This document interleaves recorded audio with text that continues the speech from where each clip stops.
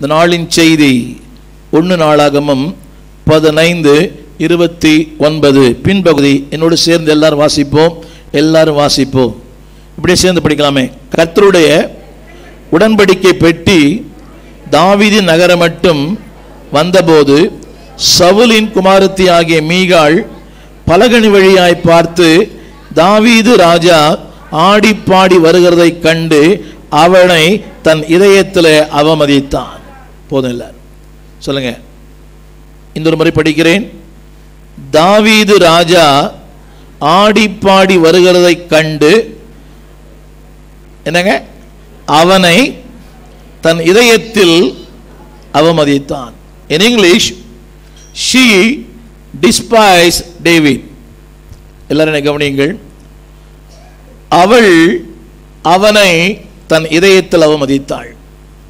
இன்றைக்கு அவமானத்திற்கு பல காரணங்கள் இருக்கும். எனக்கு கவனிங்க எல்லாரும்?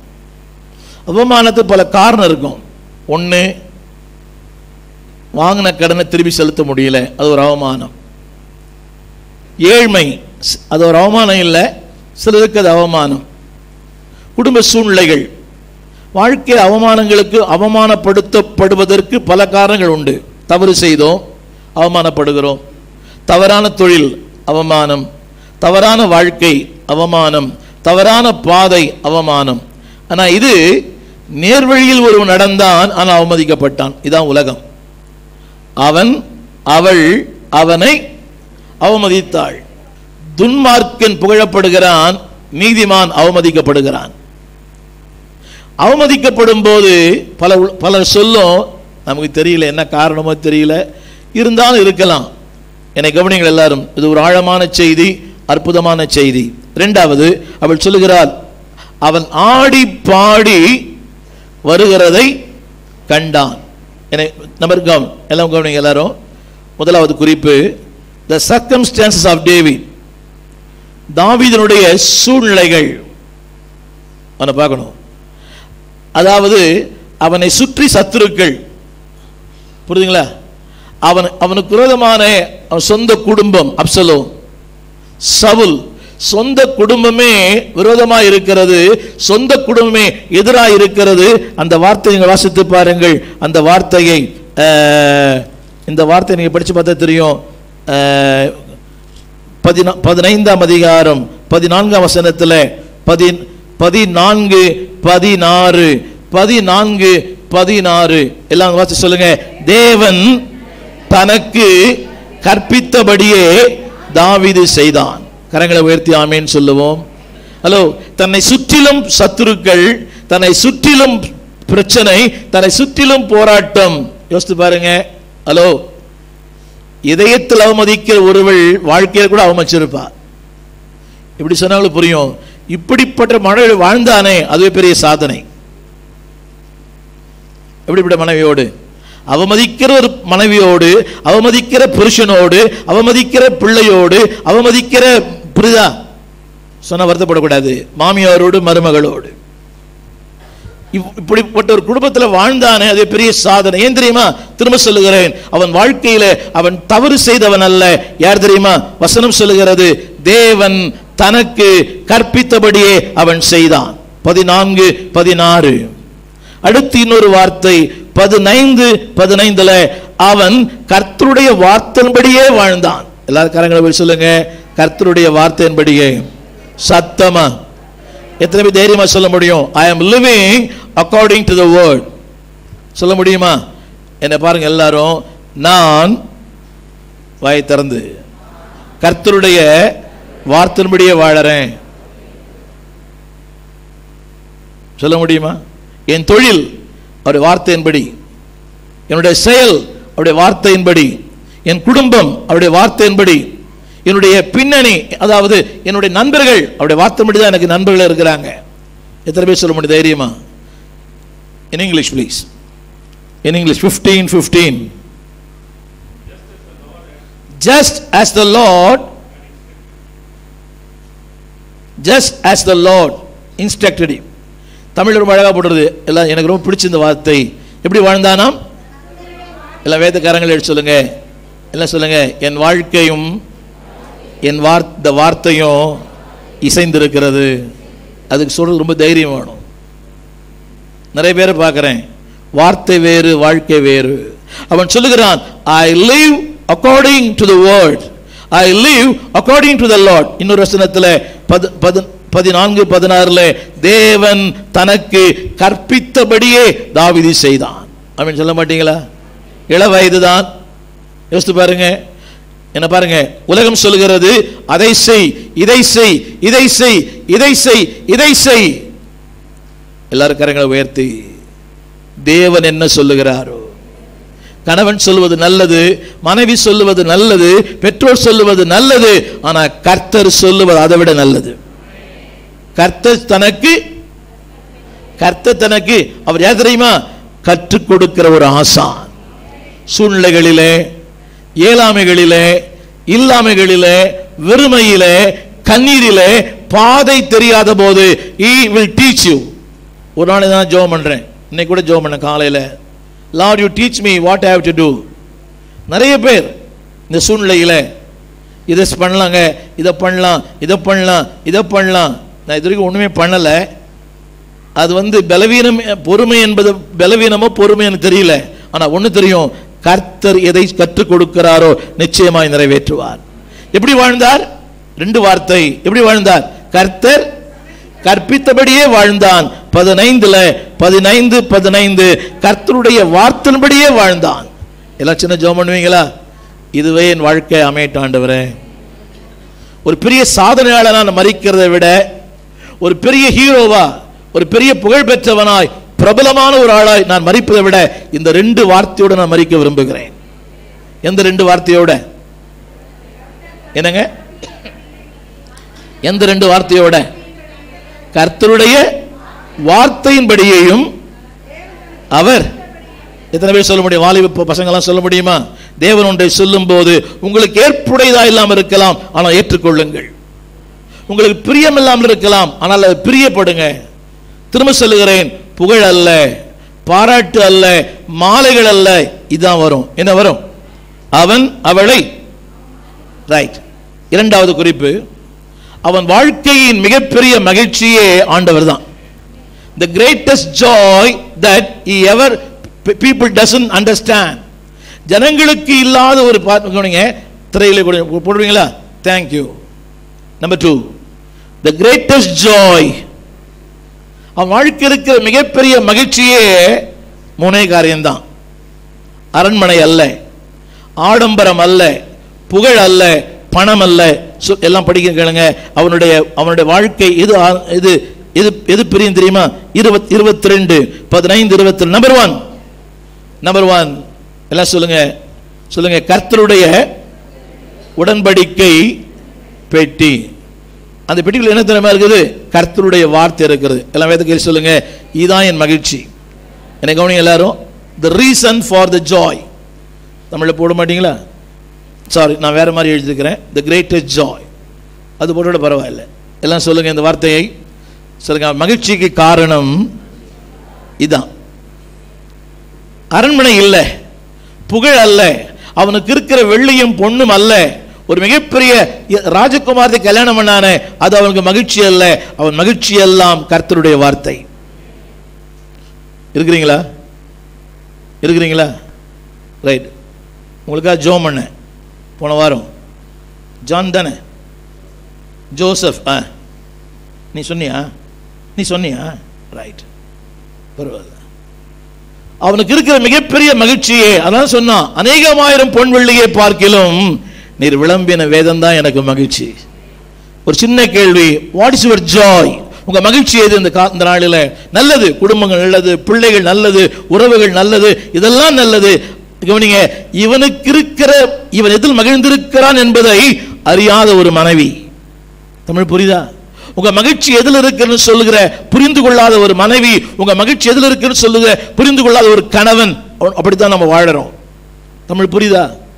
அவர் மகி அவள் மகிழ்ச்சி வேற இவன் மகிழ்ச்சி வேற. இவன் மகிழ்ச்சி எல்லாம் திரும்ப படிக்கிறேன் கேளுங்கள். அவன் மகிழ்ச்சி எல்லாம் எதுல தெரியுமா? சொல்லுங்க கர்த்தருடைய வார்த்தை. இரண்டாவது அவன் மகிழ்ச்சி எல்லாம் தேவனுடைய ஆலயம். எங்க போட்டு தெரியுமா? எங்க போட்டு தெரியுமா? எங்க போட்டது? தாவீதின் நகரம் தேவனுடைய சபை. நான் பின்னால சொல்றேன் எல்லாம் பா- கேளுங்க எல்லாம் சொல்றேன். இங்கே கூட பாருங்களேன் இங்கே கூட.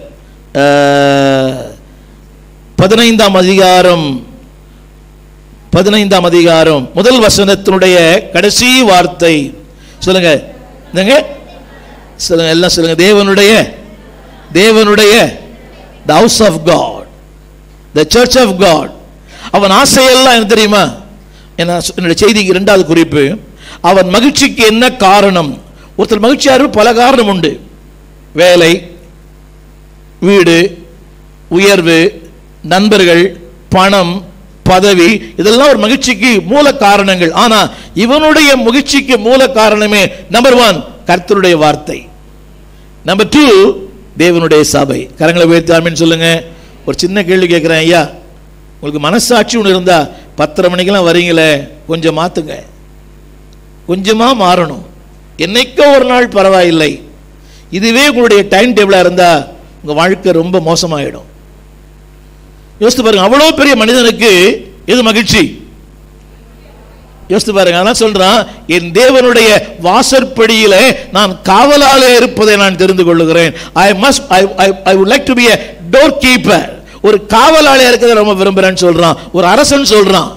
இன்னைக்கு சின்ன வாழ்க்கையில ஓவர் பில்டப் ஓவர் ஓவர் ஆசீர்வாதத்தில் அவனுக்கு ஒரு அற்பமான ஒரு ஆசி ஒரு என்ன என்ன தெரியுமா? அதாவது லீஸ்ட் வேலையை செய்ய விரும்புகிறான் காவலாலே இருக்க விரும்புகிறேன். கரங்களை போய் சொல்லுவோம். அவனோட மகிழ்ச்சிக்கு என்ன காரணம்? கவனிங்க. மகிழ்ச்சிக்கு காரணம் மனம். மகிழ்ச்சி காரணம்? மகிழ்ச்சி எப்போ வரும்? மன ரம்யமாக இருந்தால் மகிழ்ச்சி வரும். மனம் சுகந்து விட்டால் மகிழ்ச்சி வராது. த- இந்த திரையிலே பாருங்கள். There are two kinds of people worldly minded இன்னொன்று காட்லி மைண்டட் வேர்ல்ட்லி மைண்டட் இன்னொன்று காட்லி மைண்டட் ஒரு ஒரு கூட்டம் உலக பிரகாரமாகவே வாழ்வது. அதையே சிந்திப்பது. அதுக்காகவே நேரம். எங்க போன பையன்? ஃப்ரெண்டு எங்க போனீங்க? சாயங்காலம் ஃப்ரெண்டு எங்க பார்த்து எப்ப பார்த்தாலும் உலகம் உலகம் உலகம் உலகம். உலக உறவுகள். நான் தேவையில்லைன்னு சொல்லவில்லை. அதுவே பிரதானமாக இருக்கக்கூடாது. ஹலோ தாவிதுக்கு உலகம் இல்லையா? உறவுகள் இல்லையா? நண்பர்கள் இல்லையா? மந்திரி இல்லையா? காவலாளிகள் இல்லையா? வேலையாட்கள் இல்லையா? ஆனாலும் அவனுடைய எண்ணம் எல்லாம் காட்லி மைண்டட் படிச்சு பாருங்க நம்பர் ஒன் என்னது? என்னது? முதலாவது தேவனுடைய பெட்டி இரண்டாவது ஒரு ஸ்தலம். பதினைந்தாம் அதிகாரம் முதல் வசனுடைய மூன்றாவது வரி ஒரு ஸ்தலம் அல்ல தேவனுடைய ஸ்தலம். என்னங்க? த பிளேஸ் ஆஃப் காட் எல்லாம் சொல்லுங்க தேவனுடைய ஸ்தலம். ரொம்ப சந்தோஷமா சில பேர் எவ்வளவு தியாகம் பண்ணி வருகிற மக்களுக்காக என் ரொம்ப என்னுடைய வணக்கங்கள் வாழ்த்துக்கள். ஆனா ஒரு நாள் வீணாகாது. அவ்வளோ பெரிய மனுஷன் எதை விரும்பினான்? என்ன அதை போடுறீங்களா? இதை போடுறீங்க அதை போடுங்க அதான் முக்கியம். The great the worldly minded என்னங்க? இந்த உலகத்தில் ரெண்டு விதமான மகிழ்ச்சி இருக்குது. ஒன்று ஆவிக்குரிய மகிழ்ச்சி இன்னொன்று உலக பிரகாரமான மகிழ்ச்சி. தமிழ் புரியுதா? ஒன்று ஆவிக்குரிய மகிழ்ச்சி இன்னொன்று உலக பிரகாரமான மகிழ்ச்சி. இந்த வசனம் படிச்சு பாருங்களேன் தோசனத்தை வசனத்தை. பதினைந்து கடைசி வார்த்தை இருபத்தி ஒன்பது கடைசி வார்த்தை இருபத்தொன்பது கடைசி வார்த்தை. தாவீதின் தாவீதின் நகரமட்டு வந்தான். என்னை பாருங்க நான் சொல்ல வந்த வார்த்தை அவன் பிரயாணங்கள் முடிந்து போனால் முடிந்து போன ஒன்று அல்ல தொடர்நிலையான ஒன்று. சொல்லுங்க அதுவரை ரொம்ப நன்றி. சொல்லுங்க மகிழ்ச்சிக்கு ரெண்டு மைண்டு தான் முக்கியம். புரியுதா உங்களுக்கு? இந்த மனம் நல்லா இருந்தால் தான் மகிழ்ச்சியே வரும். ரெண்டு விதமான மனங்கள் உண்டு. ஒன்று இருபத்தி நாலு மணி நேரமும் இதான். எது? உலகம் உலகத்துக்குரிய காரியங்கள் அதான் சொன்னாரு. உலகத்திலும் உலகத்தில் உள்ளவைகளிலும் அன்பு கூறாதிருங்கள். உலகத்தில் அன்பு கூர்ந்தால் அவனிடத்தில் பிதாவின் அன்பு இல்லை. அதுக்காக வேலை செய்யக்கூடாதுன்னு சொல்ல மாட்டேன் நான். இருபத்தி நாலு பைபிள் எடுத்து படிச்சுன்றா no no that is not my point அதெல்லாம் என்னுடைய நோக்கம். என் நோக்கம் எல்லாம் இருபத்தி நாலு மணி நேரமோ அதை பண்ணணும் இதை பண்ணணும் இதை பண்ணணும். இதுக்கே நேரம் இல்லை. ஈவன் ஊழியர்களுக்கே. அடிக்கடி சொல்லுவேன் பெரிய வேலையை பண்ணுறவங்க எல்லாம் சில்லற வேலை பண்ணக்கூடாது. அப்படின்னு சொல்ல மாட்டீங்களா? புரியுதா? நான் எதற்கு அழைக்கப்பட்டேனோ அதுதான் என்னோட வாழ்க்கை. யோசித்து பாருங்க. அப்படின்னா அவருடைய மைண்ட் எல்லாம் இரண்டாவது என்னது? காட்லி மைண்ட் அவனுடைய சிந்தை எல்லாம் தெய்வ சிந்தை தேவனுக்கேற்ற சிந்தை தேவனு தேவனுடைய சிந்தை. இப்படி சொன்னா புரியும்.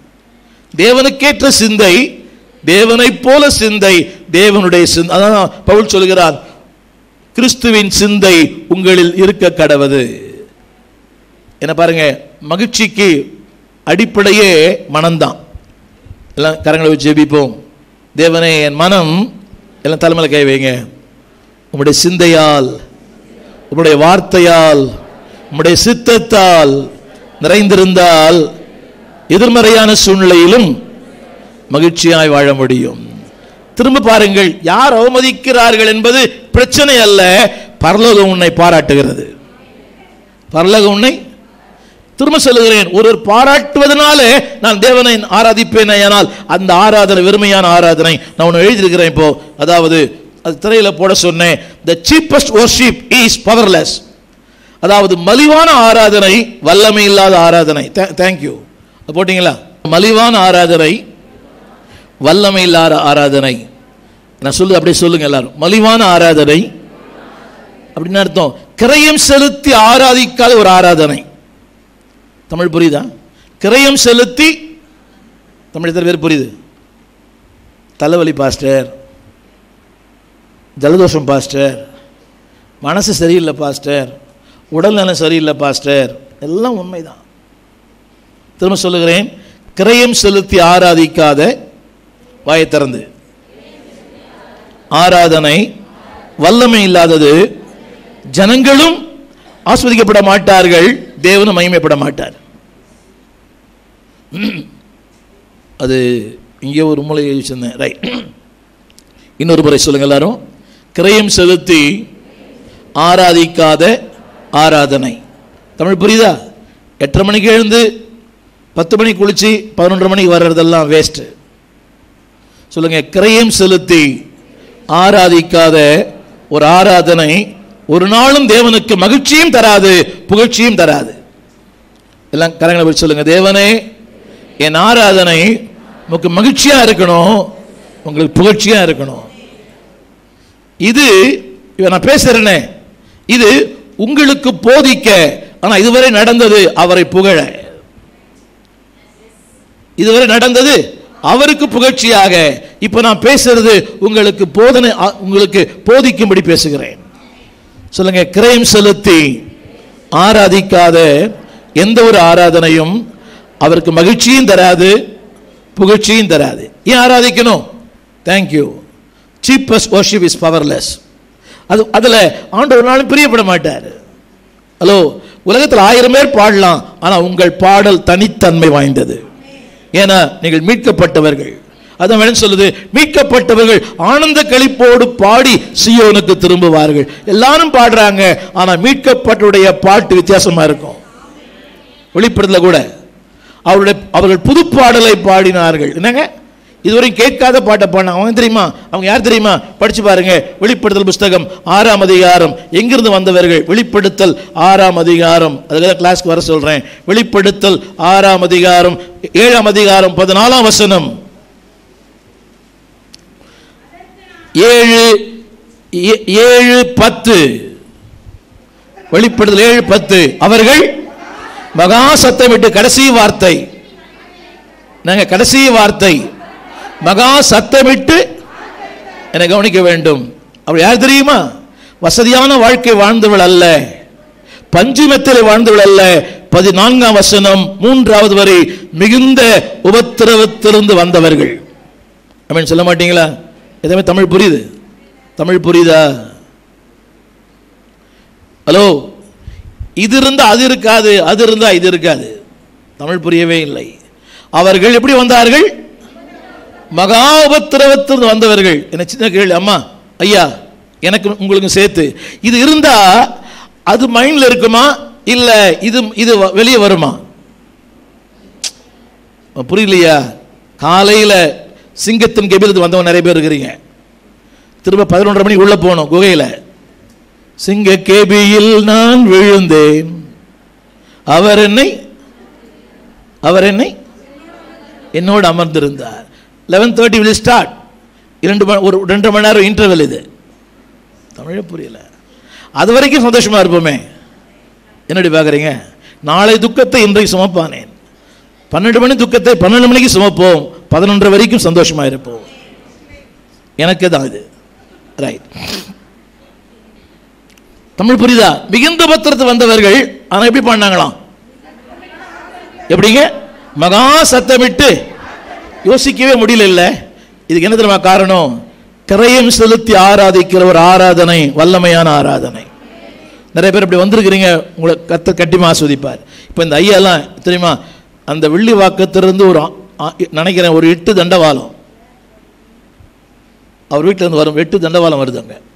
இல்லை மோகன்? அந்த சைடில் இருந்து வரும்போது திரும்ப இங்கேருந்து ஒரு ஒரு நாலு தண்டவாளம். யோசித்து பாருங்க. ஐயா உங்களுக்கு தான் சொல்கிறேன் ஐயா. கிரயம் செலுத்தி ஆராதிக்கிற ஆராதனை கர்த்தருக்கு மகிழ்ச்சியும் தரும் கர்த்தருக்கு புகழ்ச்சியும் தரும். தமிழ் புரியா அப்படிப்பட்ட மக்களுக்காக நான் ரொம்ப நன்றி சொல்கிறேன் அந்த அப்படிப்பட்ட மக்களுக்கு நான் ஊழியம் செய்வதை ஒரு பெரிய பாக்கியமாய் கருதுகிறேன். யாருக்கு தெரியுமா? யாருக்கு? பக்கத்து வீட்டில் இருந்து பத்தரை மணிக்கு வரானே. ரைட் புரியவே இல்லை. அந்த டென் தம்பி கோச்சிக்கு போகிறான் சின்ன வயசில் பத்தரை வெளியே போகிறீங்களே எனக்கு புரியல. அறுபத்தஞ்சு வயசு ஆச்சுன்னா அடிக்கடி போவீங்க போல. ரைட் சொல்லுங்கள் கிரயம் செலுத்தி தேங்க்யூ ரொம்ப நல்லது. அது அப்படியே போ சொல்லுவீங்களா சொல்லுவீங்களா? தமிழில் இங்கிலீஷில் போட்டிருக்காரு. சொல்லுங்கள் cheapest worship is powerless and does not glorify God glorify சொல்லுங்க தேவனை ஒரு நாள் என்ன செய்யாதது? பாண்டியா சரி ஏதோ பாடிட்டு போனேன். எஸ்பிபி பாடுறார் நீயும் பாடின அவ்வளோதான் தமிழ் புரியவே இல்லை. என்னங்க அவங்களும் பாடுறான் நீயும் பாடின. சரி பாடிட்டு போ. ஆனால் ஒன்று கிரயம் செலுத்தி. ஆறாம் பாட்டு பாடுறவங்களாம் பாருங்க. முழு பலத்தோடு ஜீவனை கொடுத்து பாடணும். கை தட்டும்போது கூட கை வலிக்கணும் ஈரல் வெளியே வரணும். ரைட் என்ன அர்த்தம்? தமிழ் புரியுதா இது? என்ன அர்த்தம்? காலை அண்டர்ஸ்டாண்ட் சீப்பஸ்ட் ஓர்ஷிப்க்கு ரெண்டு ஓர்ஷிப் இருக்கு. ஒன்று காஸ்ட்லி ஓர்ஷிப் இன்னொன்று எல்லாம் சொல்லுங்க. ஆண்டு எது தேவை? சத்தமா? சத்தமா? அதுக்கு என்ன செய்யணும்? You have to pay the cost கிரை செலுத்தாமல் புரியுதா உங்களுக்கு? நீங்கள் திரும்ப சொல்கிறேன் நான் பாராட்டுறோம் நீங்கள் பாராட்டுறீங்களோ இந்த பிள்ளைகள் பாடும்போது பரலோகம் உலகம் பாடலையே இல்லை இல்லை இல்லையோ இவர்கள் பாடும்போது பரலோகம் மகிழ்கிறது பரலோகம் பூரிக்கிறது. எல்லாம் சொல்லுங்கள் தேவனை என் ஆராதனை பரலோகம் பூரிக்கணும் சந்தோஷப்படணும். அவன் கேட்குறாங்க இப்படி பா தேவதன் கேட்குறான் இப்படி பாடுறாங்களே இவங்க யாரு? என்னங்க?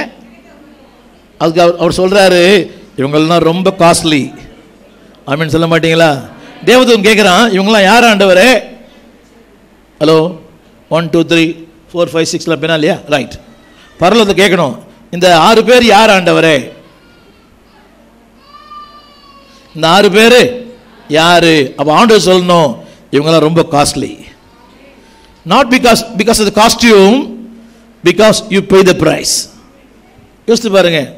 நாலு முழுசும் வேலை செஞ்சு ராத்திரி பத்தரை மணிக்கு வந்து இது புகழ்ச்சி இல்லை இதெல்லாம் ஐஸ் வைக்கிறது இல்லை எவ்வளோ கஷ்டங்கள் பாடுகள். உண்மைதான். எல்லா எல்லாருக்கும் உண்மை. இவங்களுக்கு மத்தியில் சொல்லுங்க என் ஆராதனை அவருக்கு புகழ்ச்சியும் தரும் அவருக்கு மகிழ்ச்சியும் தரணும்.